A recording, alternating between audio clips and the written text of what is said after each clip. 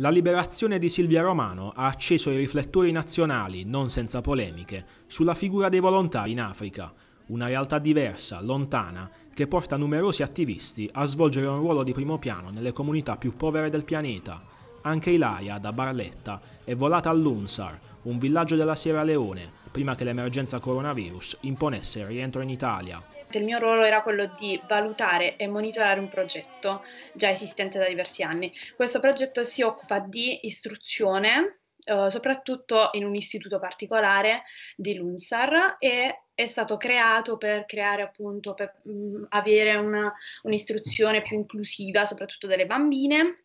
sì. ma soprattutto quindi formando insegnanti, eh,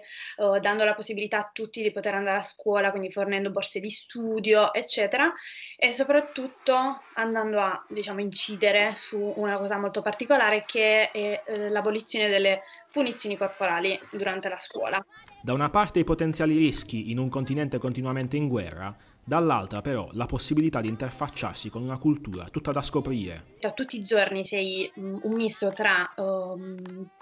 che bello sono qui e non voglio andare via e dall'altra una situazione in cui uh, ho, ci sono un po' paura, c'è proprio questa sensazione che spesso si va in Africa o in altri posti per salvare, per pensare, oddio, e tutto diventa spettacolo anche, capito? Quindi quello è sicuramente sbagliato, quella è la loro tradizione, sono le loro culture e quindi ci danno il permesso di guardarle ma non di giudicarle. Ilaria è partita a gennaio e ha trascorso la prima parte del 2020 in Sierra Leone, con il sostegno di familiari e amici per la sua scelta, ma anche con la preoccupazione e lo scetticismo di un'altra fetta di conoscenti, anche alla luce della prigionia di Silvia Romano tutti noi ci siamo sentiti Silvia Romano, da sempre studio affinché mh, mm, per fare il cooperante. I genitori mi hanno sempre supportata, questo sì, hanno avuto paura anche quando sono partita, un po' anche perché comunque da poco era, cioè non da poco, però ormai mh, Silvia Romano era un po' su, sulla bocca di tutti e quindi era una cosa che poteva succedere a tutti